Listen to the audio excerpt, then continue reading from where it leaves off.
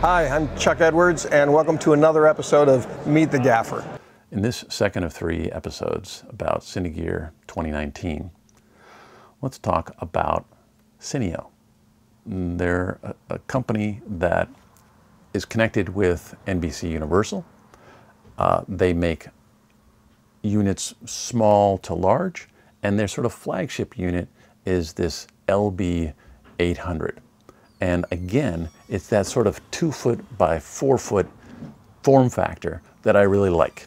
Uh, similar to the, the Maxi Mix, to the Celeb 850, it's like an Image 80, an Amara.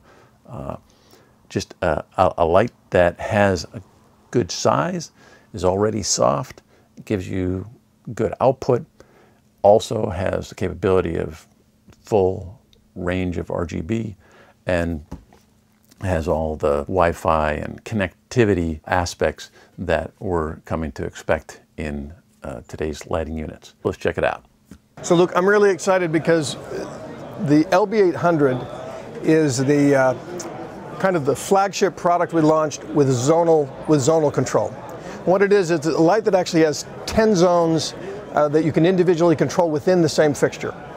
And so, as you can see here, we're going from a, a, a white, a high CRI white, into a color blend. And so the, the, benefit is that, that this light not only can do a, a nice solid soft source, and it can be uh, very high quality uh, white from 2700 to 6500, but you can also add color. And in this case, you can shape the light going from a, a white to a color or, or, any combination you like over those 10 zones. Thanks to Bobby Finley for being our DP on this production. But what he's showing, and, and the benefit here is we've, we've basically wrapped uh, the entire set with these lights. Rather than moving the lights, what we're actually doing is choosing which zone uh, we want for the primary uh, light.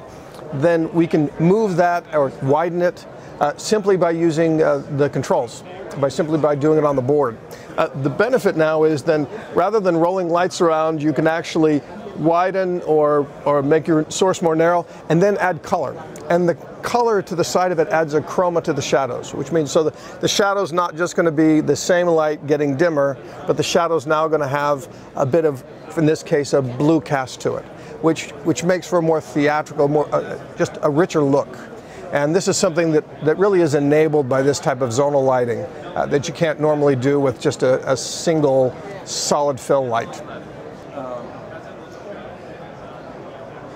So right now we're seeing, um, if you look at these lights, are creating uh, both a both a white fill, but also a, a, a, really nice color accent. And then in addition to that, the other lights we're able to change in the foreground to have it go from a warm hue obviously not on the black body curve, actually going even warmer than that. Um, and then of course on the corner, we show the opposite, the um, alternate orientation, which is a vertical orientation. So the lights can be used either horizontally, uh, with horizontal zones, or it can be turned into a um, portrait orientation, and then you have vertical zones. And both are popular. Now, the, the case of the larger fixture, the 4x4, uh, the yoke, the same yoke can be used in either horizontal or vertical form. So people can decide how they want to move the light uh, based on how they set up the rig. Our light engine is, um, is an 80 watt light engine. And so what we do is we actually have 10 80 watt light engines, thus this being the LB800. And so um, each one of those boards is two feet long by uh, about five inches wide. And that's how we create the fixtures.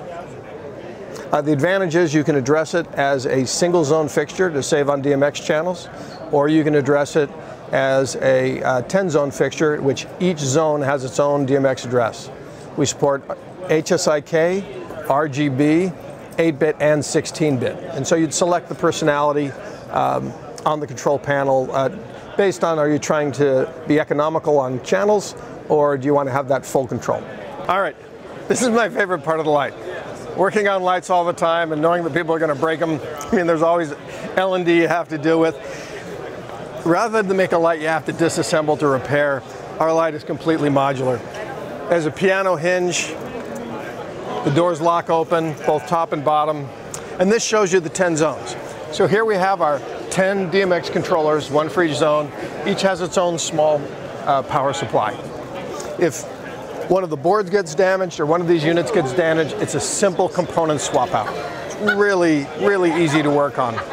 And the idea is that, that uh, it's all captive screws that you just open and close. So the, the light was also designed for, for uh, service with the idea that we want these to have a long life and be really easy to work on on set.